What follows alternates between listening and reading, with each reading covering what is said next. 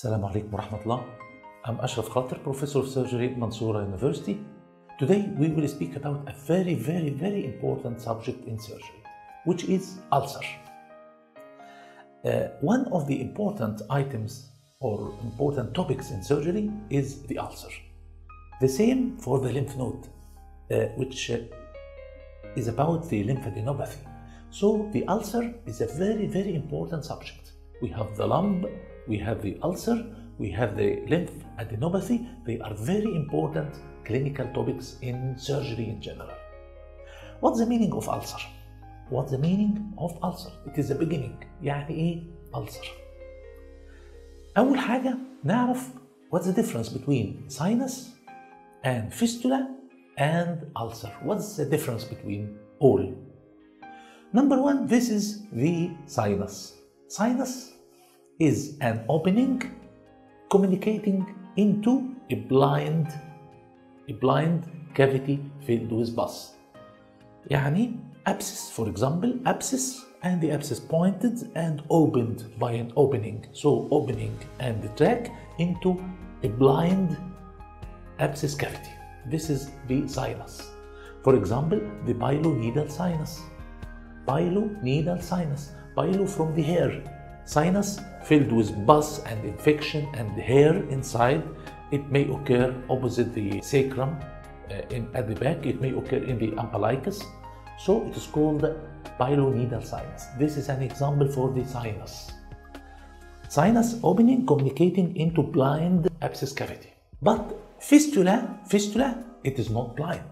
Fistula, it is a track which is formed of granulation tissue and uh, containing pus and debris and so on. So it is a track between either lumen and the skin or lumen with lumen, maybe internal fistula or external fistula opening into the skin. The fistula has two openings, internal opening and external opening, and the best example is the perianal fistula.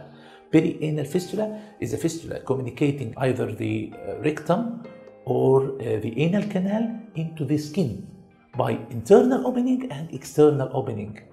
Or maybe internal fistula, for example, fistula between the intestine and the bladder, between the intestine and the vagina, and so on. So it is a track containing pus and debris communicating two openings, either both openings are internal or one internal and one external. This is uh, the fistula. The sinus is blind. What's the meaning of ulcer? Just ulcer is a discontinuity of the skin or mucous membrane. Defect, حفرة, حفرة, نقرة. Just uh, discontinuity of the skin or the mucous membrane. This is the ulcer. This is the ulcer. It may be, the ulcer may be traumatic, for example, maybe traumatic in origin, or maybe pathological in, in origin by any cause, as we will see. This is the definition of the ulcer discontinuity of the skin or mucous membrane, either traumatic or pathological.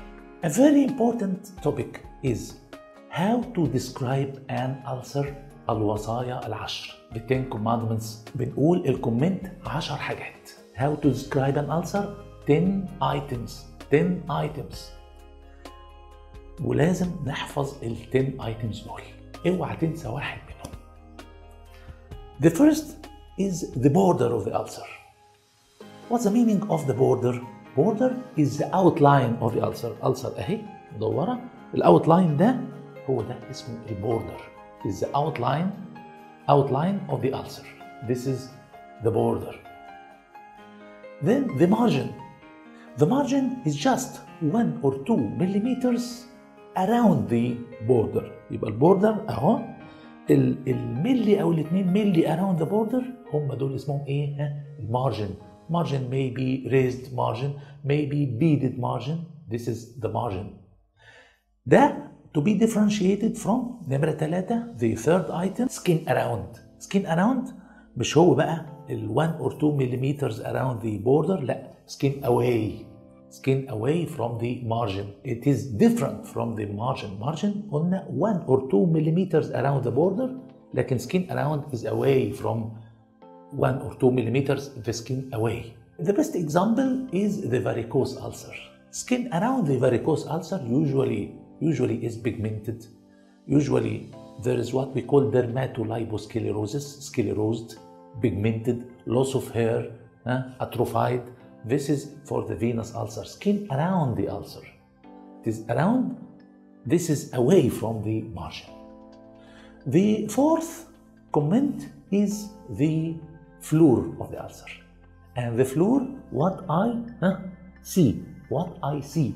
The floor, what I see by my eyes in the floor, it may contain, if it is healing ulcer, may contain healthy granulation tissue, or in the ulcer, infected ulcer may contain pus and debris. In the malignancy may contain necrotic material. This is what I see. It is the floor of the ulcer. It is the floor of the ulcer. What's the difference between the floor and the base? The base is what I uh, what I feel. لو دي الألسر دي الألسر بمسك البيز بتاعتها what I feel by my hand. What I feel this is the base not what I see what I feel بنقول قاعدة الكوباية مثلا this is the base والكومنت بتاعي إيه على البيز نقول الكومنت على البيز is it indurated يعني فيها fibrosis احسه hardness of the base or non-indurated or not indurated not indurated usually it is an acute ulcer لكن indurated usually it is a chronic ulcer طيب how to differentiate between chronic inflammatory ulcer and the malignant ulcer بنقول ان في المالجنسي the induration is beyond the border of the ulcer احنا عرفنا البوردر اللي هو الاوتلاين في المالجنسي بنقول ان الاندوريشن exceeds the border of the ulcer while in chronic inflammatory ulcer the induration is limited to the border of the ulcer مهمة قوي قوي حتة الاندوريشن كمان كومنت وأنا بمسك البيز اوف ذا ulcer كومنت على is it tender or not is it tender or not يعني وأنا بحط ايدي على البيز اوف ذا ulcer is it tender or not كمان كومنت وأنا ماسك البيز try to move the ulcer is it mobile ulcer or fixed ulcer to the underlyings يبقى مجرد بحط ايدي على البيز بتاعت الألسر بقدر أعرف الاندوريشن وهل الاندوريشن equal to the border of the ulcer or beyond the border of the ulcer. وبقدر أعرف is it tender or not. وبقدر أعرف is it mobile or not. ثلاث حاجات مجرد بمسك القاعدة بتاعت الكوباية بإيه؟ بإيدي.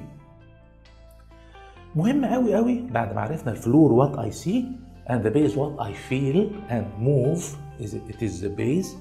مهم قوي اللي هي الايدج اوف ذا السر وكتير قوي بيتلخبطوا بيفتكروا إن الايدج هي البوردر نو ذا كلاسيك ديفينيشن اوف ذا ايدج اللي هي باترن اوف كاتنج اوف ذا السر كأن واحد بيقطع كيك كيك هاو تو كات ذا كيك يو ار كاتنج شاربلي لايك ذات اور يو ار cutting لايك ذات الباترن اوف of هي دي ال edge هي المسافة ذا ديستانس between the border and the floor. so the edge is the distance or the area in between the border and the floor this is the edge and the edge differs.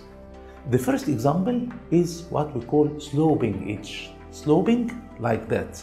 Usually sloping edge with healing ulcer لأن بيحصل إيه تملى يحصل لها filling by granulation tissue فعشان كده تبان إيه sloping edge. or maybe undermined edge. Undermined, so the pattern of cutting is like that by undermining. This is a classic of TB. the tb organism is a weak organism prefer proliferation into the subcutaneous tissue rather than proliferation into the skin. So it dissects by undermining. So undermined edge is characteristic for TB. Maybe punched out edge. It is parallel Punched out edge, maybe in syphilitic ulcer, maybe in the peptic ulcer. The edge may be raised, raised and inverted or rolled in. This is classic for the basal cell carcinoma.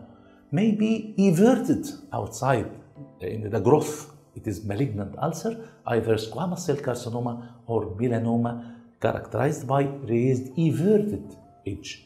These are the types of itch, maybe sloping, maybe undermined, maybe punched out, maybe raised inverted or rolled in, or maybe raised everted and rolled out. These are the types of itch. Very important comment is the distal effect of the ulcer. Is the ulcer is causing edema, for example, or lymphedema, or nerve Uh, uh, palsy, for example, if malignant ulcer invades the nerve, causing, for example, foot drop or wrist drop. What about the distal effect causing ischemia? This is the distal effect. And the last one of the 10th comment, the lymph node. As we mentioned in the examination of the lump, the lump is a triad. The lump itself, the distal effect, and the lymph node, the same for the ulcer. The ulcer itself, the distal effect, and the lymph node comment على الليمف node is it significant or not significant lymph node is more than 1 centimeter painless and hard or non-significant is it soft is it tender is it small lymph node and if you find the lymph node what about the number what about the mobility of the lymph node as usual as we commented on the lymph node and we will discuss later on uh, this is an example to a face ulcer. It is a classic ulcer of basal cell carcinoma and observe the rolled in edge with beading of the margin. It is a classic ulcer for the uh, basal cell carcinoma. And here this is a squamous cell carcinoma of the lip and observe the raised and everted edges. This is an example for squamous cell carcinoma of the lip. The question may be for you the question may be differential diagnosis of ulcer in the tongue. Ulcer in the tongue. To mention about sharp tooth, to mention about the chronic inflammatory ulcer, about the malignant ulcer and TB ulcer and so on so. Maybe ulcer in the face to differentiate between basal cell carcinoma, squamous cell carcinoma, melanoma, keratoacanthoma and so on so. Maybe ulcer in the neck. Maybe ulcer in the leg to differentiate between ischemic ulcer, varicose ulcer and trophic ulcer maybe ulcer in the back to differentiate the bed sores or the cubitus ulcer from malignant ulcers and so and so, maybe ulcer in the genitalia.